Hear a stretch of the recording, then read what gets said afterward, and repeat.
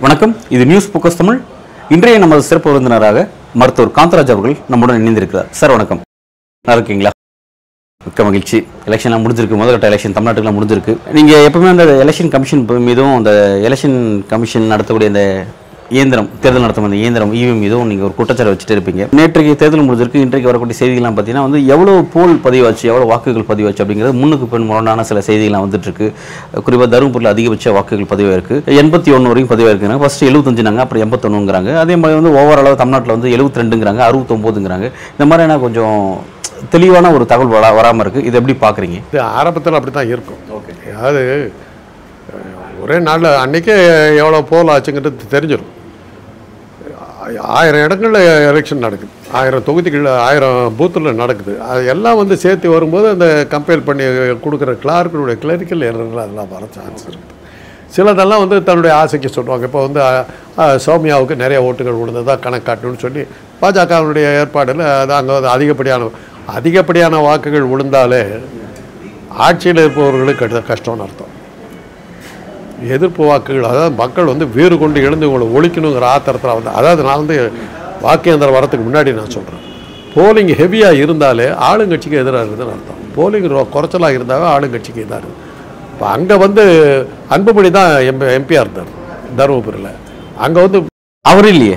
இவர் இது திமுக டாக்டர் செந்தில் தான் எம்பியா இருந்தார். சரி அது அவரை தோக்கடிச்ச இடம். இப்போ வந்து அங்கே நிற்கிது அங்கே வந்து அதிகப்படியான வாக்குகள் உழுதுன்னா சௌமியாவுக்கு அவ்வளோ வாக்குகள் வந்ததா ஒரு கணக்காட்ட பார்க்குறாங்க. அவர் அந்த தேர்தலை ஜெயிக்க வைக்கிறதுக்கான முயற்சிகளில் பாஜக இறங்கி இருக்குதுன்னு அர்த்தம் அதுக்காக தான் வாக்குகள் அதிகமாக வந்திருக்குதுன்னு ஒரு கணக்காட்டி இப்போவே செட் பண்ணுறாங்க ரெடி பண்ணுறாங்க ஆக என்னுடைய சந்தேகங்கள் நியாயமாக தானே இருக்குது? இந்த சந்தேகத்துக்கு என்ன பதில் சொல்கிறீங்க இப்போ நீங்கள் வைக்கிற மாதிரி சந்தேகம் இப்போ அண்மையில் ப்ரூஃப் ஆச்சு. அதாவது இன்னும் கேரளா எலெக்ஷன் நடக்கல. பட் மாதிரி வாக்குப்பதிவு ட்ரை பண்ணாங்க. காசர்கோடு அப்படிங்கிற பகுதியில் வந்து செக்கிங் பண்ணாங்க. டெமோ பார்த்தாங்க. அந்த டெமோவில் என்ன ஆச்சு அப்படின்னா அந்த மாதிரி ஒரு பட்டன் எழுதுனா பாஜகவுக்கு ரெண்டு வாக்கு பதிவாச்சு அப்படின்ற ஒரு இஷ்யூ ஆச்சு. அந்த பிரச்சனையை சுப்ரீம் கோர்ட்டில் கேஸ் நடந்துட்டு இருக்கும்போது அங்கேயும் உள்ளே கொண்டு வந்தாங்க. இப்படி ஒன்று நடந்துட்டு இருக்கு இப்படி இருக்கும்போது எப்படி இவி மீது நம்ம மக்களுக்கு நம்பிக்கை வரும்னு சொல்லி ஒரு விஷயத்தை வைக்கிறாங்க. அப்பொழுதும் கூட எலெக்ஷன் கமிஷன் என்ன சொல்லுது அப்படின்னா அங்கே வந்து இது மாதிரி நடக்கிறதுக்கு வாய்ப்பே இல்லை. வா எலக் இவிஎம் மூலமாக நூறு சதவீதம் வந்து தவறாக போகிறதுக்கு வாய்ப்பே இல்லை. முழுமையாக நம்பலாம்னு சொல்லிட்டு அப்படியே ஒரு விளக்கம் வந்து எலெக்ஷன் கமிஷன் தரப்பில் கொடுக்கப்படுது. அவர் எப்படிங்க அது இல்லைன்னு குற்றமே குற்றவாளி அவர் தானே. நான் குற்றவாளி இல்லைங்கிறாரு அது அவர் தான் குற்றவாளி கூண்டில் நிற்கிறார் ஏற்கனவே இந்த குற்றத்தை இந்த குற்றச்சாட்டை சொன்னது நான் இல்லை. முதல் முதல்ல சொன்னவங்க வந்து உங்கள் புரட்சி தலைவி ஜெயலலிதா. எங்க புரட்சி தலையா சரி ரைட்டு தமிழ்நாட்டுல இங்கே அப்படி தானே சொல்லுவீங்க? அப்போ புரட்சி தலைவி அங்கே தான் நான் சூரியனே அவரால் தான் உயிச்சதுன்னு மாதிரி தானே எழுதுவீங்க? சரி. அதுக்காக சொல்கிறேன் புரட்சி தலைவி. அந்த மாதிரி தான் முதல்ல சொல்லுச்சு. யாருமே இந்த குற்றச்சாட்டை சொல்லுச்சுன்னா மேற்கு வங்கத்தில் கம்யூனிஸ்டுகள் ஜெயிச்சுக்கிட்டே இருந்தாங்க. அப்போ அவங்க என்ன சொன்னாங்க? வாக்கு எந்திரத்தை பயன்படுத்தி தான் இந்த இவங்க ஜெயிக்கிறாங்க. இப்போ ஜோதிபாசு ஜெயிக்கிறாரு. ஒரு பட்டணம் அமுத்தினாக்கா எந்த பட்டணம் அமுத்தினாலும் அது கம்யூனிஸ்டுக்கே உழுவுது அப்படின்னு சொல்லி அவங்க இது பண்ணும்போது இந்த வாக்கு எந்திரத்தை வந்து வடிவமைக்கிறதுல ஒரு என்ஜினியராக இருந்தவர் வந்து பிரபல எழுத்தாளர் சுஜாதா என்கிற ரங்கராஜன். அவரை தான் அமிச்சாங்க ஜெயலலிதாக்கிட்ட அவர் போய் காட்டினார் இந்த மிஷினில் இதெல்லாம் பண்ண முடியாது ஃபுல் ப்ரூஃப் அப்படின்னார். அப்படி சொல்லி தான் அது அங்கீகாரம் கிடைச்சிது. சரி அது அப்புறம் விட்டுட்டாங்க. அதுக்கப்புறம் அந்த அம்மாவுக்கு தெரிஞ்சு இதை வச்சு நாமளே பொழப்பு நடத்திக்கலாம் தெரிஞ்சப்பறம் அது அந்த அம்மா அந்த க குற்றச்சாட்டை வந்து முதல்ல சொன்னது நான் தான். மற்றவங்களாம் அரசியல் கட்சிகளோட கூட்டணி வைப்பாங்க ஜெயலலிதா மாத்திரம் தேர்தல் ஆணையத்தோட கூட்டு வச்சுருக்காங்க ஜாக்கிரதைன்னு வழக்கப்படி இன்றைக்கி இருக்கிற திமுக குரூப்பு அதை அவங்க சட்டை பண்ணல மாட்டிக்கிட்டாங்க. அது அவங்க ஏன்னா அவங்கக்கிட்ட பெரிய மக உன்னதமான ஆட்கள்லாம் இருக்காங்க. நம்ம நம்ம பேச்செல்லாம் ஈடுபடாது. அதனால் அவங்க பண்ணி பார்த்துக்கிட்டாங்க. இப்போ இன்றைக்கி நீங்கள் பார்த்தீங்கன்னா காசர்கோடு தொகுதியில் தான் அதை செக் பண்ணியிருக்காங்க. காசர்கோடு முஸ்லீம்கள் மிக அதிகமாக இருக்கிற ஊர் அது தெரியுமா உங்களுக்கு? அந்த இடத்துல ஒரு பட்டன் அமுத்துனா ரெண்டு பாஜக ஆகும். முஸ்லீம்கள் இருக்கிற இடத்துல நாங்கள் வெற்றி பெற்றோங்கிறதுக்கு தான் அந்த டேம்பர் பண்ணியிருக்கிறாங்க.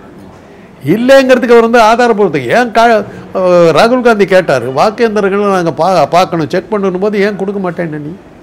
இன்றைக்கு வரலும் கொடுக்கலையே. நீ தான் உன் இஷ்டத்துக்கு கொண்டு வச்சிருக்கிற. சார் இப்போ வந்து சுப்ரீம் கோர்ட்ல நடக்கிற வழக்கு என்ன அப்படின்னா இவி மிஷினில் பதிவாகிற வாக்குக்கும் விவிபேட்ல பதிவாகிற அந்த சீட்டு பதிவில் விழுது பதிவு அதில் இருக்கிறதுக்கும் செக் பண்ணி பார்க்கணும். இதில் எவ்வளோ பதிவு வருதோ அதுவும் அதுவும் அதில் தான் அவ்வளோதான் பதிவாயிருக்கு. அல்லது சேஞ்சஸ் இருக்கு அப்படின்றத செக் பண்ணணும். இதுதான் வந்து வழக்காக இருக்குது இப்போ. இந்த வழக்கு விசாரணை வந்து எல்லாம் ட்ரையெல்லாம் விசாரிச்சிட்டாங்க. விசாரிச்சு முடிச்சுட்டு பட் வந்து தீர்ப்பை தள்ளி வச்சிருக்காங்க அப்படிங்கிறத பார்க்குறோம் என்னன்னா இப்பவும் திரும்ப திரும்ப என்ன சொல்றது எலெக்ஷன் கமிஷன் வந்து இதுல நூறு சதவீதம் நேர்மையா தான் நடக்கும் வந்து தவறு நடக்க வாய்ப்பே இல்லைன்னு கோர்ட்லேயே சொல்றாங்க அதாவது. நீங்க சொன்ன காசர்கோடு பகுதியில் நடந்த பிரச்சனையை பத்தி சொல்லும்போது நீதிபதி என்ன கேள்வி கேட்டாங்கன்னா நீங்க வந்து ஓவரால் எலெக்ஷன் கமிஷனோட அதிகாரியா? அல்லது அந்த வாக்கு எந்த பிரச்சனை வச்சா அந்த வாக்குச்சாவடியோட அதிகாரியா நீங்க? எப்படி நீங்க அதுக்கான இப்ப இதை கொடுக்குறீங்க நீங்க பதில் கொடுக்குறீங்க? அப்படின்னு கேட்கும்போது அவர் ஓவராலா கம்ப்ளைண்ட் பண்ணி அவர் அந்த விஷயத்தை சொல்றாரு. அப்படி நடக்கிற வாய்ப்பே இல்லை நூறு சதவீதம் நேர்மையானது அப்படிங்கிறாரு. திருப்பி திருப்பி தான் சொல்ல முடியும். நான் நான் குற்றவாளி இல்லைங்க. உங்க மேலே தாங்க எல்லாம் இருந்து நீங்க பாக்கெட் அடிச்சதை கண்ணால பார்த்துருக்காங்க போட்டோ கொடு இது அது ஏன் கை இல்லைங்க. அப்படி அப்படி தான் சொல்லிட்டு இருக்காரு. வேற என்ன பண்ண முடியும்? மாட்டிக்கிட்டாங்க. ஏங்க ஐக்கிய நாடுகள் சபை சொல்லுதுங்க. இந்தியாவில் தேர்தல் நேர்மையாக நடக்கிற மாதிரி தெரியலை அப்படி. உலக பார்வை விழுந்துருச்சு ஜ- ஜெர்மன் சொல்லுது அமெரிக்கா சொல்லுது ஆஸ்திரேலியா சொல்லுது நியூசிலாந்து சொல்லுது சவுத் ஆஃப்ரிக்கா சொல்லுது. எந்த நாடு சொல்லலை. சுற்றி இருக்கிற அத்தனை நாடுகளும் சொல்லுது. இம்ரான்கான் சொன்னார் போன எலெக்ஷன்லேயே இந்தியாவில் எலெக்ஷன் நடக்கும் போதெல்லாம் இந்த மாதிரி ஒரு பிரச்சனைகள்லாம் வர்றது வழக்கம். நம்ம மேலே பழிய போடுறது ஆக்கிரமிச்சாங்கங்கிறது தீவிரவாத தாக்கல் நடக்குதுங்கிறது அப்புறம் எலெக்ஷ ஓட்டிங் மிஷினில் டேப்பர் போட. இம்ரான்கான் சொன்ன பிறகு தான் மோடியால் அங்கே போக முடியல. இல்லாட்டி போனால் இந்நேரம் ஒரு ஃபுல்வாமா நடந்திருக்குமே. நடத்த முடியல. பாவம் அவர் என்ன பண்ணுவார்? ராமர் கோயில் கட்டினார். பெருசாக ஏதாவது பண்ணிடலாம். ஏன்னா முஸ்லீம் சமாதி மேலே ஒரு கோயிலை கட்டிட்டோம். அதனால் முஸ்லீம்கள் எப்படி ஒரு ரகலை பண்ணுவாங்க? பார்த்தீங்களா முஸ்லீம்கள் இது மாதிரி தீவிரவாத தாக்குதல் சொல்லான்னு பார்த்தாரு. முஸ்லீம்கள் அமைதியாக இருந்துட்டாங்க. அவங்கள பொறுத்தவரை என்னன்னாக்கா அவங்க வணங்கிக்கிட்டு இருந்த இடத்துல இவங்களே வந்து இந்து கோயில் சொல்லி ஒன்று கட்டிவிட்டாங்க முஸ்லீம்களும் போய் சேர்ந்து கும்பிட்டுட்டு இருக்காங்க. நிம்மதியாக போச்சு. நமக்கும் இவனே கட்டிவிட்டான். ராமருக்கு பேர் ராமர் அந்த ராமரை போய் கும்பிடலான்னு போனாங்க அங்கே சீதையை காணும். ராமனே தனியாக குழந்தை நம்பர் தானே சார் அவரு? அது பரிதாபம். குழந்தை நம்பர் எப்படி செய்தாரு? ராமனை நினைச்சாதாங்க அழுகே வருது எனக்கு. பாலராமர் காலமெல்லாம் அந்த ஆள் பொண்டாட்டியோட வாழ வைத்தங்கெல்லாம் போயிட்டான் பாருங்க கல்யாணம் பண்ணிட்டு வந்தால் ஒரு பத்து மாதம் கூட இருக்கல. காட்டுக்கு போனான் காட்டுக்கு போனால் ராவணன் தூக்கிட்டு போயிட்டான். பதினாலு வருஷம் தனியாக கடந்துக்கிட்டு நான் என்ன பண்ணுறதுன்னு தெரியாமல் அப்புறம் ஏதோ ஒரு ஆஞ்சநேயர் பாவம் இந்த ஆள் அழுது புலம்புறான்னு சொல்லி அவன் சொல்லி தான் அவன் வர்றான் வரத்துக்கு அவளுக்கு விருப்பம் இல்லை. இல்லாட்டி போனால் பதினாலு வருஷத்தில் என்னைக்கா ஒரு நாள் வந்துருக்கலாம் இல்லை. நீ வந்து கூட்டிகிட்டு போனால் தான் ஆச்சுன்னா ஏன்னா இவன் வரமாட்டான்னு தெரியும் அவளுக்கு. வரமாட்டேன்ட்டான். பதினாலு வருஷம் இருந்துவிட்டான் அதிகமாக இருந்ததே இலங்கையில் தான் இருந்தான்.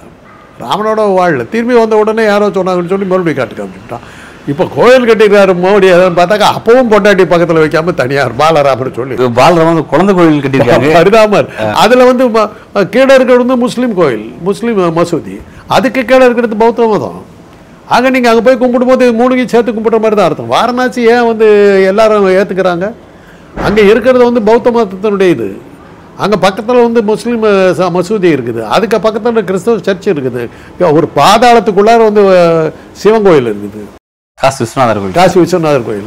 அது மூ நீங்கள் அங்கே போய் அந்த காசி விஸ்வநாதர் கோயில் நீங்கள் கவனிக்க விட மாட்டீங்க. நீங்கள் பார்த்தா உங்களுக்கு மசூதியும் ச- சர்ச்சும் தான் தெரியும். நேராக போய் அதை கும்பிடும்போது இத்தனை சாமி கும்பிட்ட மாதிரி ஆயிடுது இல்லை. உங்கள் கோயில்னு சொல்லவே முடியாதே. அதனால் என்ன கேட்டீங்க? ஈவி பத்தி பேசிடுறோம். அதான். நடக்கிறதுக்கு வாய்ப்பு இல்லை வாய்ப்பு இல்லைன்னு சொல்கிறது என்ன அர்த்தம் இருக்குது? கொண்டு காட்ட வேண்டியது தானே வாக்கு சீட்டு இருந்த காலத்தில் பொட்டியை திறக்காமலேயே உள்ளே இருக்கிற வாக்கு சீட்டுகளை வெளியே எடுக்க முடியும்னு திமுக வந்து ஒரு குற்றச்சாட்டு வச்சது பக்தவச்சலம் காங்கிரஸ் ஆட்சி நடக்குது. அறுபத்தி ஏழு எலெக்ஷனுக்கு முன்னாடி. பக்தவச்சலம் முதலமைச்சராக இருந்து தோற்று போகிறார் தமிழ்நாட்டில் முதலமைச்சர் பதவியில் இருந்து பதவியில் இருக்கும்போதே தோற்று போனது ரெண்டே பேர். ஒன்று வந்து பக்தவச்சலம் இன்னொன்று வந்து புரட்சி தலைவி ஜெயலலிதா. ரெண்டு பேர் தான் பதவியில் இருக்கும்போது தோற்கடிக்கப்பட்டவர்கள். மற்றவங்கெல்லாம் பதவியில் இல்லை. இப்போ ஜானகி வந்து பதவி போயிடுச்சு. போனதுக்கப்புறம் தான் அவங்க நின்று தோற்று போனாங்க. அவங்க பதவியில் இல்லை. முதலமைச்சர் பதவியில் இருக்கும்போதே தோற்றது ரெண்டு பேர் தான். ஜா ஜெயலலிதாவும் இது. அப்போ வந்து பக்தவச்சலத்துக்கு எகேன்ஸ்டாக ராஜரத்னன்றவர் வழக்கு போட்டார் அவர் எதிர்த்து நின்றவர் அவருடைய வக்கீல் சொன்னார் வாக்குப்பட்டியை திறக்காமலேயே உள்ளே இருக்கிற வாக்குச்சீட்டுகளை மாற்ற முடியும். அப்படின்னார் கோர்ட்டில் நிரூபித்து காட்டுங்கன்னாங்க கோர்ட்டில் வாக்குச்சீட்டுகளை கொண்டு வந்தாங்க. தேர்தல் ஆணையம் கொண்டு வச்சது. அந்த வக்கீல் ரொம்ப சாமர்த்தியமாக எடுத்துக்க வேண்டி வச்சார். ஒன்றும் புரியல. ஆனால் அதுக்குள்ளார ராஜரத்னம் சில காரணங்களால் அந்த கேஸை வித்ட்ரா பண்ணிட்டார். இல்லாட்டி அன்னைக்கே பொட்டியை திறக்காம எடுக்க முடியும். எல்லா தில்லுமுள்ளுகளும் என்னைக்கு இந்தியாவில் ஜனநாயகம்னு சொல்லி தேர்தல் வந்ததோ அன்னைக்கே தில்லுமுள்ளுகளும் ஆரம்பிச்சிடுச்சு. அன்னைக்கே தேர்தல் ஆணையர்கள் யாருக்கு பக்கம் போயிட்டு இருந்தாங்கங்கிறது எல்லாத்துக்கும் தெரிஞ்ச விஷயம்தான். இப்போ இவர் சொல்கிறாரு செய்ய முடியாதுன்னா வந்து கா நிரூபித்து காட்ட வேண்டியதானே நீங்கள் இதை பாருங்கள் இந்த மிஷின் இது பண்ண முடியாது. பாருங்கன்னு காட்ட வேண்டியதானே வாய் வார்த்தையை சொல்லிட்டு பட் இவங்க இவங்க சொல்கிற மாதிரி இப்போ இந்த ட்ரையல் விஷயங்களை காட்டுறாங்க. இப்போ ட்ரையல் விஷயம் அப்படின்னும் சில இவி மிஷினில் வந்து எவ்வளோ வாக்கு பதிவாச்சு விபிஎல்ல எவ்வளோ பதிவாச்சு அப்படிங்கிறத ரேண்டமாக அங்கே ஒன்று இங்கே ஒன்று செக் பண்ணி காமிச்சு கரெக்டாக இருக்குங்கிறாங்க. ஆனால் கம்ப்ளீட்டாக செக் பண்ணும்போது முரண்பாடு வருதுங்கிறதா இவங்க ஆப்போசிட்ல வச்சிருக்க வாதம். பட் அதை வந்து சேலஞ்சாக எடுத்து ஏன்னா இன்னும் ஜட்மெண்ட் வரல. ஏன்னா ஃபஸ்ட் கட்ட எலெக்ஷன் முடிஞ்சிச்சு அநேகமாக வந்து ஏழு கட்டம் முடிஞ்சது பிறகு தான் வந்து அந்த வழக்கு ஜட்மெண்ட் வரும் நான் எதிர்பார்க்குறேன். ஏன்னா வந்து முன்னாடி வரல. ஏன்னா வந்துச்சுன்னா அடுத்து எலெக்ஷன் அடுத்து அஹ், மீதி கட்ட எலெக்ஷன் வந்து முன்னாடி அவங்க சொல்லணும் அதை. சொல்லணும். ஆனால் வந்து நீதிமன்றம் நேர்மையாக இருந்தால் அதை சொல்லணும். ஜட்ஜ்மெண்ட் சொல்லணும். இன்னும் அது வந்து பிளாங்காக தான் இருக்கு. என்னன்றது தெரியல இன்னும் வெளியில் வர ஒன்று சொல்லியிருக்காங்க வேட்பாளர்கள் யாராவது விபி வேட்டை கவுண்ட் பண்ணணும்னு சொன்னால் கவுண்ட் பண்ணி தான் ஆகணும்னு சொல்லியிருக்காங்க அது ஒரு பெரிய பிரச்சனை. அப்படி பண்ணிட்டாங்கன்னாவே எண்பது பர்சன்ட் இது நேர்மையாக வந்துடும் இருபது பர்சன்ட் தான் தவறுகள் நடக்க வாய்ப்பு அதை வந்து அழுத்தம் திருத்தமாக அதை சொல்லிட்டாங்கன்னா வேட்பாளர் கேட்டால் அது அது நியாயமான விஷயம். நீங்கள் நிற்கிறீங்க நான் நிற்கிறேன் நம்ம ரெண்டு பேரும் வந்து அதை பரவாயில்ல அந்த நம்புறோன்னு சொன்னால் நீங்கள் கவுண்ட் பண்ண வேண்டியதில்லை. ஏன் நீங்கள் அந்த கேள்விக்கு நீங்கள் வேட்பாளர் கேட்கணும் ஏன் சொல்கிறீங்க நாங்கள் நேர்மையாக நடத்துகிறோம் நீ நேர்மையானவனார் தான் இதை மாதிரி அபி பாடி என்றேன் அப்படின்னு சொல்ல வேண்டியதானே ஏன் சொல்ல மாட்டேங்கிற எலெக்ஷன் கமிஷன் வந்து இந்த இவி மிஷின் அங்கே உள்ள கொண்டு வந்ததுக்கு காரணம் இங்க இருக்க எல்லா கட்சிகளும் ஏத்துக்கிட்டாங்க. எல்லா கட்சிகளுடைய வேட்பாளர்களும் ஏத்துக்கிட்டாங்க. அதன் காரணமாக தான் இப்படி ஒரு நடைமுறை எங்களால் கொண்டு வர முடிஞ்சுச்சு ஆனா இன்னைக்கு வந்து சில அங்கங்க இங்க ஒரு பிரச்சனை நடக்குதுன்றத ஒட்டுமொத்தமா நீங்க எல்லாத்தையும் குற்றச்சாட்டு வைக்கிறீங்க. எல்லா ஏற்றுக்கிட்டாங்கன்றதுக்காக விபச்சாரத்தை அக்செப்ட் பண்ணிடுவார் அவர் அதான் இப்போ தேர்தல் இல்ல, இல்ல, ஆணையம்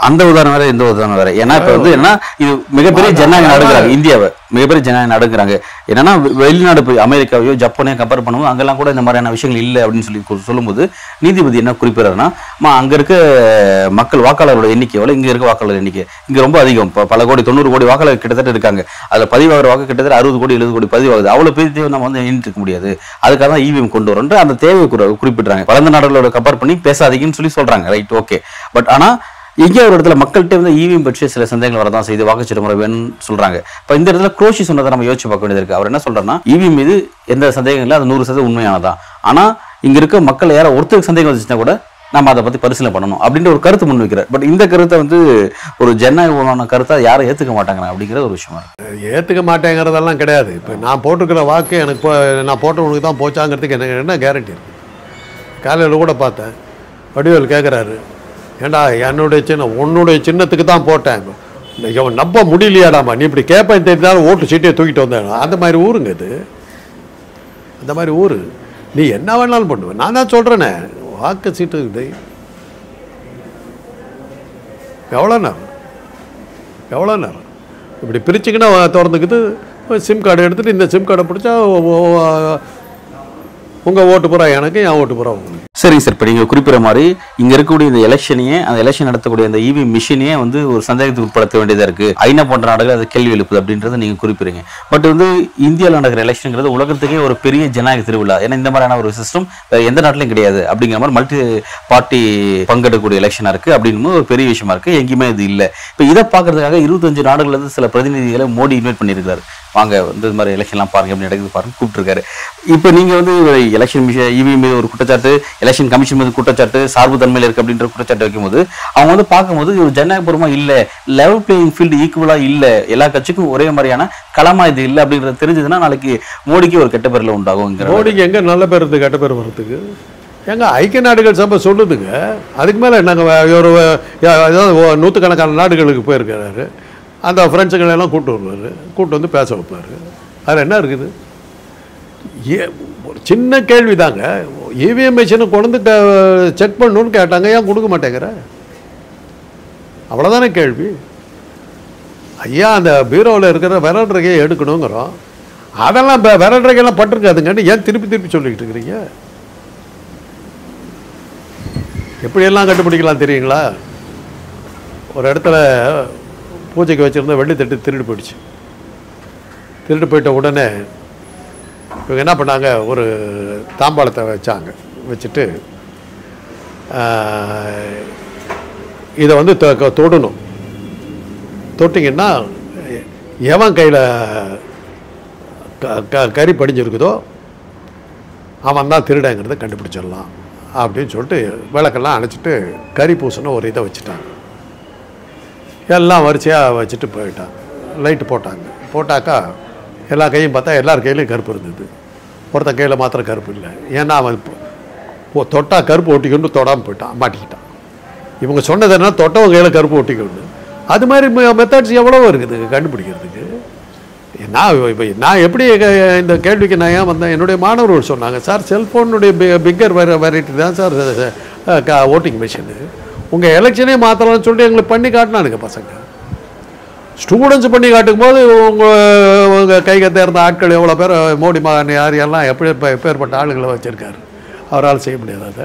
பட் வந்து இப்போ இந்த இது போன்ற விஷயத்த ஒரு பிரதமர் மோடி இப்போ இன்னைக்கு வந்து ஏற்கனவே சொன்ன மாதிரி பல நாடுகள்ல இருந்து இன்வைட் பண்றாரு வாங்க எலெக்ஷனை பாருங்க அப்படின்னு கூப்பிடுறாரு அப்படின்னும் போது இங்க வந்து இந்த விஷயங்கள்லாம் இவ்வளவு விமர்சனத்துக்கு உட்பட்ட விஷயங்களா இருக்கும்போது எதுக்கு அவ்வளவு கூப்பிடணும்? அவங்க பார்த்து அவங்க விமர்சனம் பார்வையாளர்கள் சொல்லி ஐநாவை கூப்பிட்டு நிற்க வைக்க வேண்டியதானே அப்பா நிற்க வைக்க வேண்டியது தானே என்ன உன் ஃப்ரெண்ட்ஸ் என்ன கூப்பிடுற அதுலேயும் உன் ஆளை தானே கூப்பிடுற? செ- செஞ்சோட்டு கடந்து எடுத்துட்டு போயிடுவாங்க. மோடி கணக்கில் சாப்பிட்டு அதை பாஜக எப்படி சொல்றாங்கன்னா இப்போ கடந்த காலத்துல வந்து ராகுல் காந்தி வெளிநாட்டுக்கு போயிட்டு இந்தியாவில் ஜனநாயகமா இல்ல ஜனநாயகம் சீர்கெட்டு போயிருக்கு பிரதமர் மோடியோட ஆட்சினால அப்படின்ற மாதிரி சில விமர்சனம்லாம் வச்சு இந்தியாவுக்கு ஒரு கலங்கத்தை உண்டாக்கிட்டாரு. இப்போ அதுக்கு அதுக்கு ரீப்ளேஸ் பண்ற மாதிரி தான் பிரதமர் மோடி வந்து இருபத்தஞ்சு நாடுகள் வந்து முக்கிய பிரதிநிதிலாம் கூப்பிட்டு பாருங்க எவ்வளவு ஜனநாயகம் எப்படி இருக்கு? அப்படின்னு தன்னை இந்த ஜனநாயகத்தை பேர் பண்ண நான் தான் அப்படின்னு தன்னை நிறைவு பார்க்கறாரு அப்படின்ற மாதிரி. அது அந்த பாயிண்ட்டு ரொம்ப நாளைக்கு முன்னாடி சொல்லியிருக்கணும் இப்போ சொல்லி பிரயோஜனம் இல்லை இன்னைக்கு கேள்வி கேட்குறது ஐக்கிய நாடுகள் சபை. ராகுல் காந்தி ஒரு சின்ன பையன். உங்களை உங்களை பொறுத்தவரைக்கும் பப்பு. அந்த பப்பு தான் உங்கள் வாயில் வச்சா ராப்பு. என்னாச்சு? ஐக்கிய நாடுகள் சபை சொல்கிறது நீ நீ ஒரு நீ நீ- ஒரு மாதிரி ஆசாமின்னு சொல்லி அந்த வார்த்தைகளை யூஸ் பண்ணக்கூடாது. பச்சையாக சொல்லலாம். வாட் இஸ் மோடி அதுதான் எனக்கு உலக அரங்கில் பார்வை. வரவேற்கிறதுக்கு ஆள் வராமல் போயிட்டாங்க. தூக்கி எறிஞ்சுவிட்டாங்க நீ ஒரு ஒரு தலைவனுக்கு இருக்கிற தகுதியே உனக்கு இல்லைன்னு சொல்லிவிட்டாங்க. இந்த பாஜக அதெல்லாம் எங்கே போய் கழுவிக்குவாங்க அதை உடம்பு பூரா மலம்.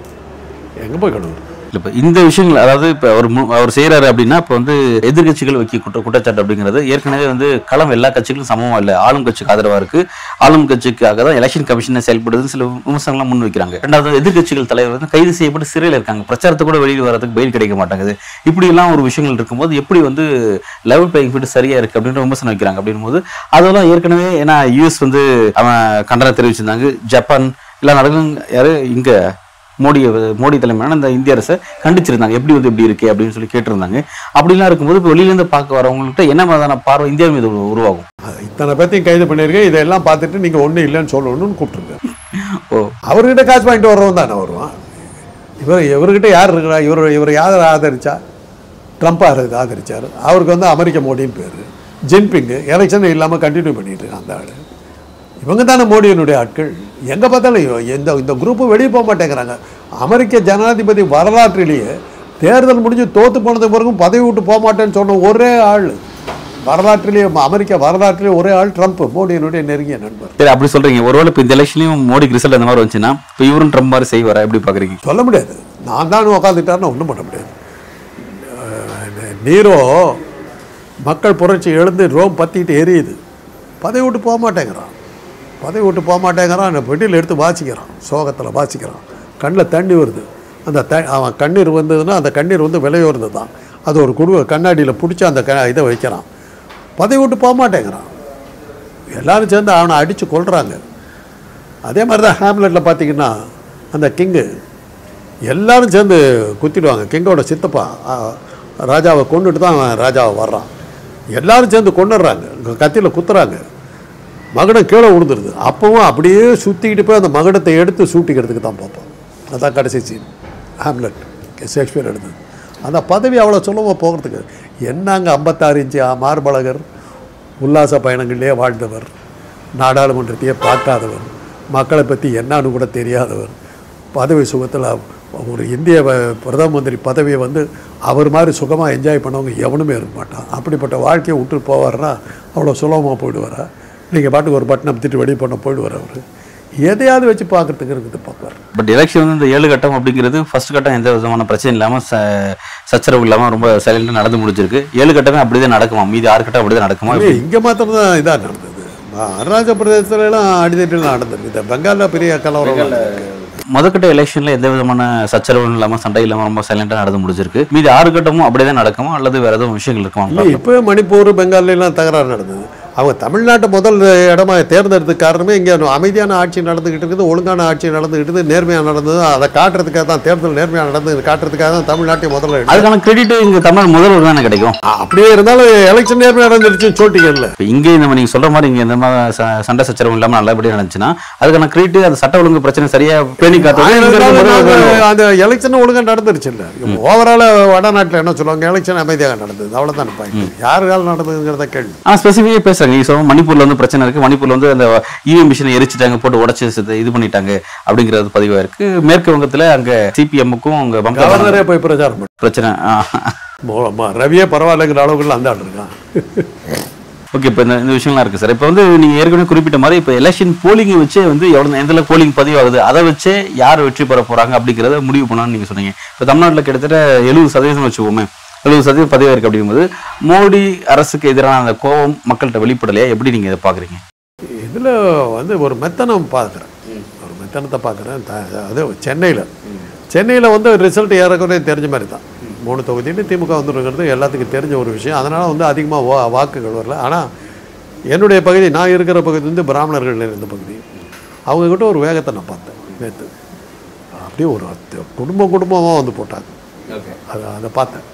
இந்த தடவை நம்ம விட்டுறக்கூடாதுங்கிற அந்த ஒரு வேகம் அவங்க அவங்க ஜாதி மத்தியில் இருக்கிற அந்த ஒரு பயம் இதில் நம்ம விட்டோம்னா ஏதோ ஆயிடுவோங்கிற அந்த பயமெல்லாம் அதில் பார்த்தேன் நான். அது இதுவரை நான் பார்க்கல. இதுவரை நான் பார்க்காத ஒரு வேகம் அவங்களுக்கு இருந்தது. அந்த அளவுக்கு ஏன்னா இது வந்து அடையாறு மயிலாப்பூர் டி நகர் இது மூணுமே வந்து அவங்க ஏரியா. அதில் தான் எஸ்வி சேகர் போன்றவர்கள்லாம் ஜெயிச்ச இடம். இந்த மாதிரி இது. எழுபத்தொன்னில் கூட எல்லா இடத்துலையும் தோற்ற போது அங்கே வந்து ஒரு கேரளா ஒரு மலையாள ந- நம்பூதிரி ஜெயிக்கிற மாதிரி இருந்தது.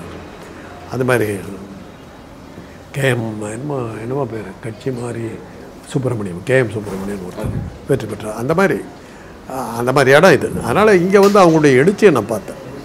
பட்டு அறுபத்தொம்போதுங்கிறது குறைச்சல் தான். குறைச்சல் தான். ஒரு ஆன்டி இன்கம்பன்சி இல்லை. குறைச்சல் ஓட்டுனாவே ஆளுங்கட்சிக்கு சாதகமாக இருக்குது. த திமுகவுக்கு சார்பாக தான் அவங்க நிற்கிறாங்க நல்ல சார். பல்வேறு ரொம்ப ஆழமாக உங்களோட கருத்தில் வரீங்க மிக்க நன்றி.